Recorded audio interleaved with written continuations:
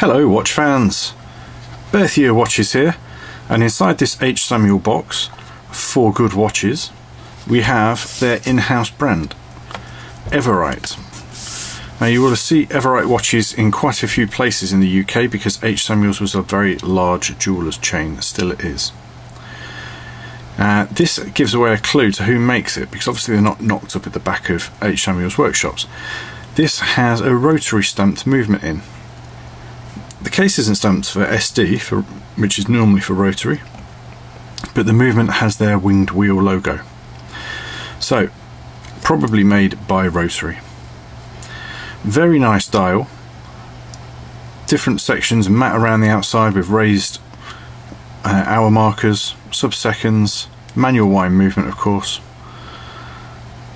Uh, this is circa 1955 uh, actually circa 1950 I think we've gone for. Have to be a bit wavy because there's although there is a serial number on the back there's no way that we know of to compare it. So if you're looking for a birth year watch which is irrefutably from the year you're born this probably isn't for you.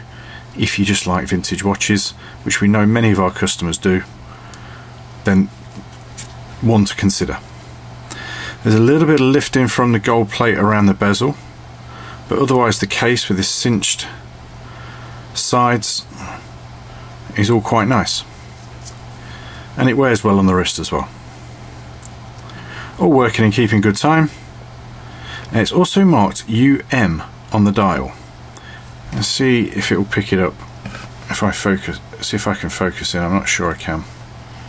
But just above there it says UM not sure what that means Anyone can help, please put a note in the comments. Much appreciated. Thank you for watching. We'll see you again next time.